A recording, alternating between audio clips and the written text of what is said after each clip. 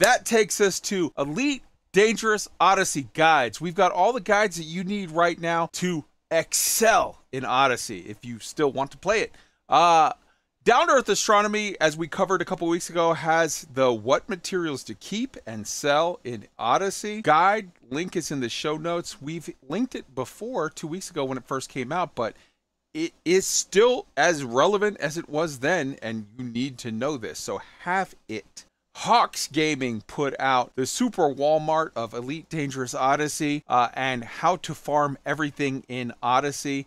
Both of those are in the show notes, and uh, we're putting them in the comments right now for you to see. Though Super Walmart of Odyssey guide, that base in particular, is a crazy base that has just it literally has every material in the game except for smear campaigns, which I don't care what anyone else tells you, it's a fucking lie. They are not in the game right now. Literally, multiple people have put out multiple billion dollar uh, bounties saying, Show me it in the game right now. Show me a picture of you getting it. I will give you a billion plus credits.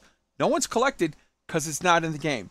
You're going to hear oh, it's just a super low drop rate. No, it's not.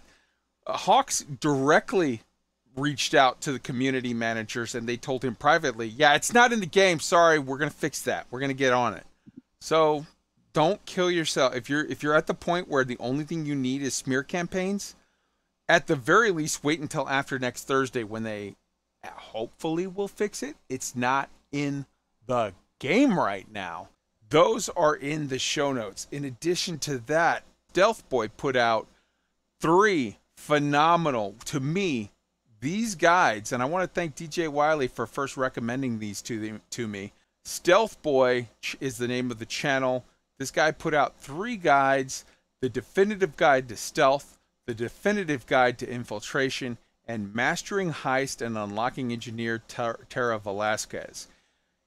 If you are like me and you're like, eh, I'm not 100% whatever on this on foot FPS stuff. I know that the vast majority of the hardcore Elite Dangerous player base are a bunch of forum dads who want to play with their HOTAS and they're like, this FPS stuff, uh, I guess I got to do it. All right, let's fucking plug our nose and get to it. Stealth Boy, the three videos we're about to link are solid gold go and watch these three videos. Start with the guide to stealth, then move on to the guide to infiltration, then move on to mastering heist. It's like the beginner, intermediate, and advanced class on how to do the on foot stuff and and succeed actually succeed he plays in these videos like okay if you first see a guy and they're like marauders by the third ring they will aggro you if you're at a base where you're allowed to be there, you know, if you do X, you could do that and they're you're okay so long as they're more than two rings away. If you do Y, they you can do it so long as they're more than one ring away. He shows you detailed